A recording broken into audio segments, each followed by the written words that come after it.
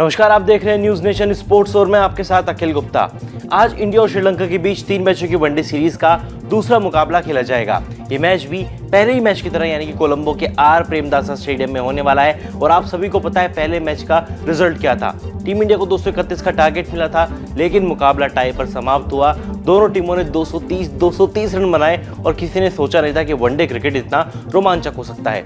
अब दूसरा वनडे शुरू होने वाला है। इस मैच में दोनों टीमों के पास मौका रहेगा मैच जीत कर बढ़त लेने का। लेकिन अगर आप फैंटेसी इलेवन के दीवाने हैं, अगर आप फैंटेसी टीम बनाने का शौक रखते हैं तो ये वीडियो सिर्फ़ और सिर्फ़ आप ही के लिए है, क्योंकि पिछले मैच में हमने जो प्रोडिक्शन की थी ऑलमोस्ट वो सही रही। हालाँकि हमारा कप्तान नहीं चला हमने कप्तान शुभमन गिल को बनाया था, वो फ्लॉप रहे, लेकिन उप कप्तान कुलदीप यादव ने अच्छा परफॉर्मेंस किया। चरित असलग का तीन विकेट लेने में सफल रहे।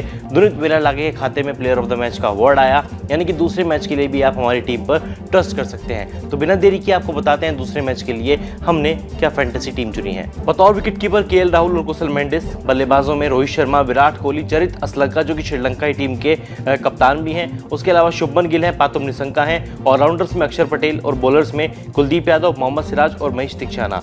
एक बार फिर से अगर आपको हमारी फैंटेसी इलेवन बताएँ, के राहुल कुशल मेंडिस रोहित शर्मा, विराट कोहली, चरित असलंका, शुभमन गिल, पातुम निशंका अक्षर पटेल, कुलदीप यादव, मोहम्मद सिराज और महेश दीक्षाना कप्तान हमने चुना है हमारे किंग कोहली को, इंडियन टीम के स्टार बैट्समैन को, विराट कोहली को और कप्तान चुना है चरित असलंका को। पिछले मैच में चरित असलंका ने बतौर बल्लेबाज तो फ्लॉप रहे थे, लेकिन बतौर गेंदबाज उन्होंने तीन विकेट अपने नाम किए थे। उम्मीद है कि आज के मैच में भी उनका जलवा देखने को मिलेगा और हमारी जो टीम है वो अच्छी रहेगी। कप्तान हमने चुना है विराट कोहली को, याद रखिएगा।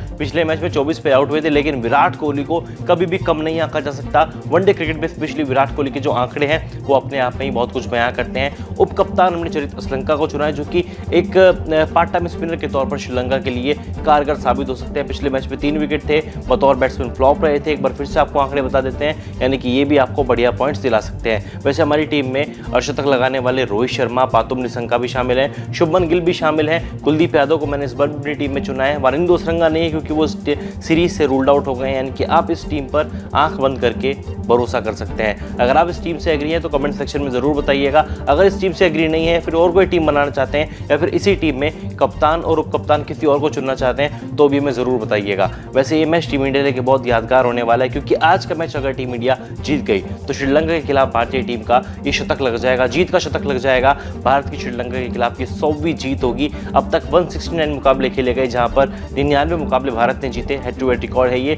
और श्रीलंका के नाम सत्तावन मुकाबले रहे। ग्यारह मैच का कोई रिज़ल्ट नहीं रहा और दो मुकाबले टाई पर समाप्त हुए। बड़ा रोमांचक मुकाबला होने वाला है, लेकिन एक जद्दोजहद ये भी होने वाली है कि टीम इंडिया की प्लेइंग इलेवन में क्या कुछ चेंजेस होंगे? क्या टीम इंडिया शिवम दुबे या वॉशिंगटन सुंदर में से किसी एक को बाहर रख के रेयान पराग को मौका देगी या विकेट कीपर के तौर पर के राहुल खेलेंगे, ऋषभ पंत खेलेंगे?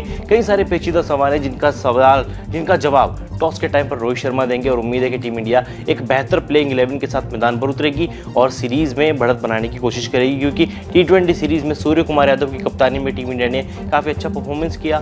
तीन के तीन मैच अपने नाम किए। पहला मुकाबला तिरालीस रन से जीता, फिर सात विकेट से जीता और आखिरी मैच सुपर ओवर में भारतीय टीम ने अपने नाम किया। अब उम्मीद है कि वनडे में रोहित शर्मा की कप्तानी में भी टीम इंडिया उसी प्रदर्शन को दोहराएगी और सीरीज़ जीतकर भारत लौटेगी।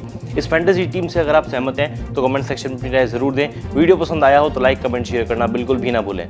न्यूज़ नेशन अब व्हाट्सएप पर। खबरों की ताज़ा अपडेट के लिए न्यूज़ नेशन के इस क्यूआर कोड को स्कैन करें।